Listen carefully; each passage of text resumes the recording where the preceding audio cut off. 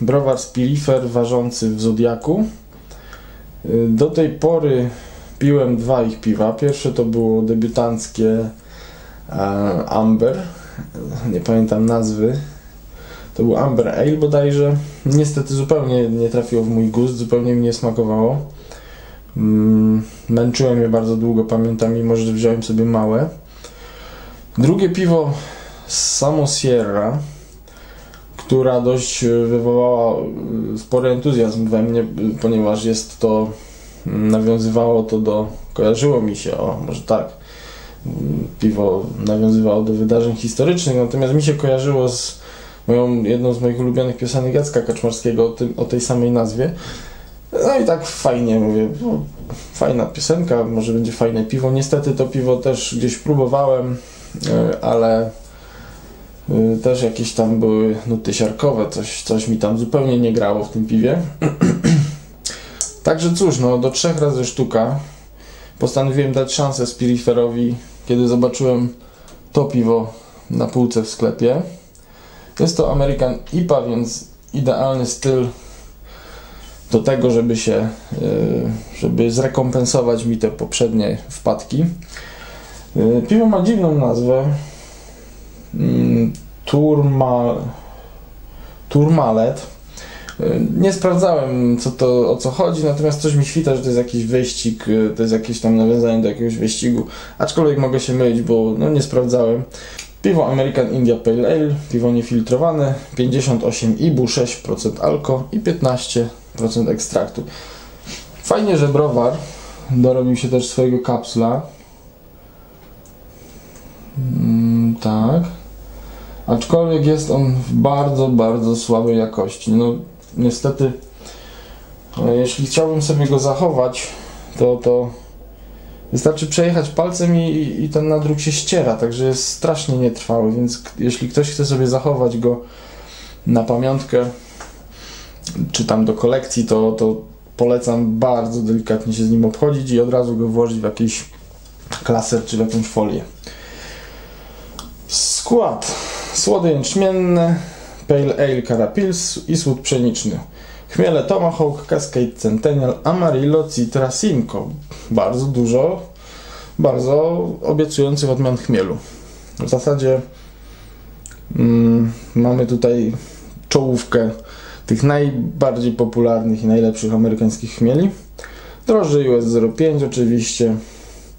Piwo jest pasteryzowane. A i wspomniałem wcześniej, że browar waży w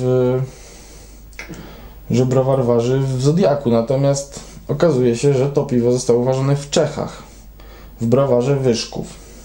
Naleję sobie na razie tyle. No, barwa jest ładna, mocno zmętniona, taka ciemno-pomarańczowa.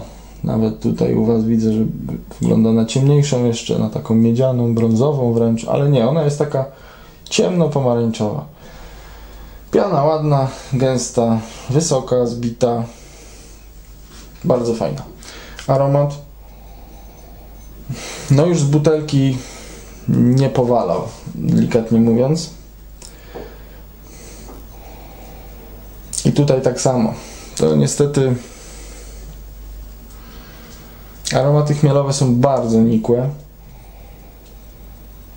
Oczywiście są obecne, czuć amerykańskie chmiele, natomiast w bardzo niewielkiej ilości. Na pierwszym planie są słody, jest karmel, słodowość. Takie karmelki, ciasteczka, coś takiego. No także aromat trochę rozczarowuje. Smaku jest bardzo dziwne. takie jakby nuty takie chlebowe, ciastowe, ciastkowe, maślane, trochę mleczne, trochę palone.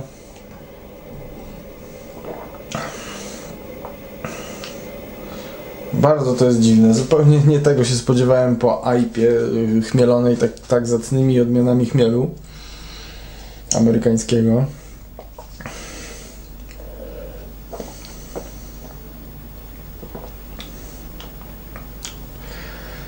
Spora podbudowa słodowa, spora karmelowość.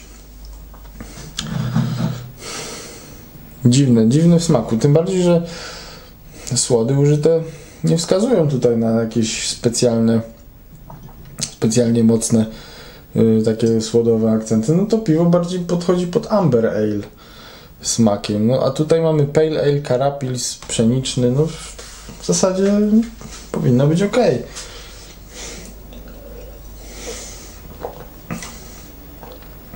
Piwo męczące, takie ciężkie, słodowe, właśnie mocno ciastkowe, w ogóle bez, bez śladu praktycznie cytrusa, bez tej rzeź, rzeźkości, która powinna być w ajpie.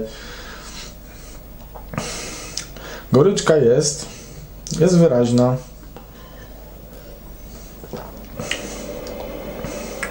Aczkolwiek też nie jest jakaś super, bo trochę zalega na podniebieniu, na języku. Jest lekko cierpka, taka trochę herbaciana, taninowa. Także cóż, no. Nie jest to piwo wadliwe, jakieś strasznie y, piwo, którego nie da się wypić. No ale nie jest to dobry reprezentant stylu. Nie jest to takie American IPA, jakie, jakie lubimy, przynajmniej ja.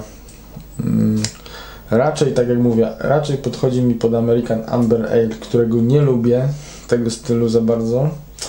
Za dużo karmelowości, za dużo ciasteczkowości.